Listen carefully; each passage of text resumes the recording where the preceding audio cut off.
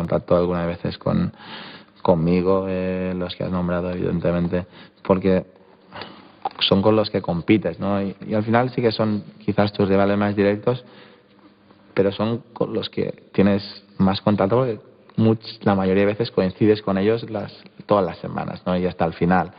O sea que también hay un, aprecias o aprendes a apreciar a tus, a tus rivales, ¿no? Y yo creo que, que esto es mutuo y, y, y, a mí personalmente estoy convencido que, que, que, ellos pues quieren lo mejor para mí, quieren, quieren que yo vuelva a competir cuanto antes, ¿no? Igual que si yo veo a, a Federer lesionado, a Djokovic o a Murray o a David Ferrer lesionado, yo lo único que le puedo desear es que vuelva lo antes posible porque yo creo que aparte de todos, todas estas personas, estos jugadores son gente importante para, para nuestro deporte, ¿no? Y cuanto cuando mejor funcione nuestro deporte, pues mejor me irá a mí también, ¿no? Y yo creo que ellos sienten lo mismo que yo, ¿no? ¿Y hay alguien que te haya decepcionado para mal? Aunque no sé si digas, dirás el nombre, ¿no? Dices que hay una competencia muy sana entre vosotros, pero esto al final es deporte y que Rafa Nadal no esté posibilita que otros estén por encima de ti también en la tabla. ¿Ha habido alguien que te haya decepcionado en este momento que digas, no, no ha estado?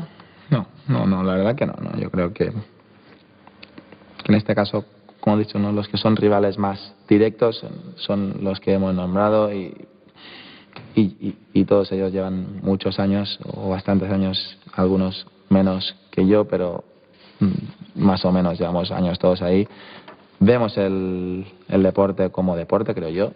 Es una competición, sí, pero no deja de ser un espectáculo, ¿no? Y, y al fin y al cabo uno quiere ser número uno, sí. Y uno quiere ser ganar Grand Slam, ganar los torneos más importantes también, ¿no? Bueno, en algún momento dado, pues eh, claro que yo en algún momento dado estás igual que todo el mundo, ¿no? Eh, estás a punto de jugar a una final y dices, joder, a ver si, a ver si el otro se tuerce el tobillo y, y gana el torneo. Pero, pero no es el caso, ¿no? Yo creo que en estos momentos de, de nuestra carrera, pues yo creo que todos estamos felices de, de haber conseguido nuestro sueño, que es ser felices pudiendo hacer lo que nos gusta, que es jugar al tenis. Aparte hemos sido destacados y que es lo mejor, lo mejor para nosotros, pero también lo mejor para nuestros rivales. ¿no? Has dicho que el tenis es un espectáculo. Quiero saber qué opina Rafa Nadal de cuando el deporte, además de espectáculo, se convierte en otra cosa. Supongo que has podido ver, porque es muy futbolero, eh, lo que ocurrió en el partido Barça-Real Madrid. Más allá de lo deportivo, se lanzó un mensaje político. ¿Qué piensa Rafa Nadal de que esos dos temas que levantan tantas pasiones se hayan cruzado? Bueno, cuando acude público a un, a un a un estadio pues es libre de expresar lo que, lo que uno siente, ¿no? Evidentemente, sea deporte, sea música, sea, sea lo que sea, ¿no? Cada, cada, la libertad de expresión de, de cualquier persona es primordial. Sí, pero, pero, hablamos de un tema muy concreto y es la independencia de Cataluña. No sé cómo alguien que no es de Cataluña, que es de Baleares, ¿cómo mm. lo vive eso?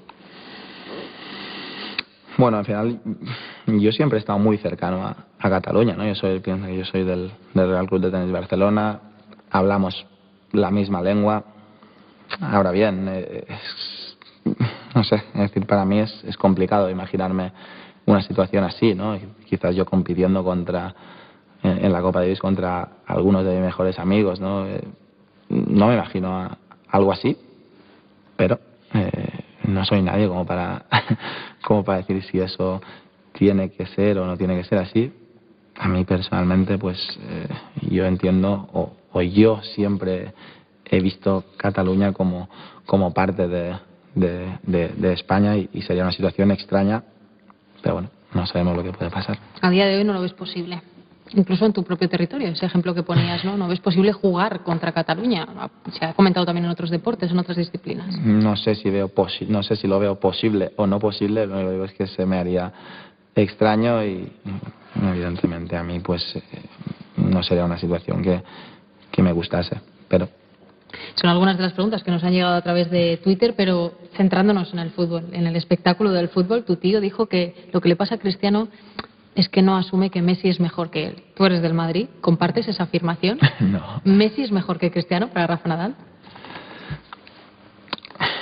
Messi es mejor que Cristiano para el Barça y Cristiano es mejor que, Messi para el Madrid. No, no, no, puedo compartir mi, el punto de vista que, tiene mi tío, primero todo porque los colores de uno y otro son distintos. ¿no? Eso es al fin y al cabo siempre afecta un poco, eh, el, punto de vista cambia desde un, desde un lado desde otro, como es normal, ¿no?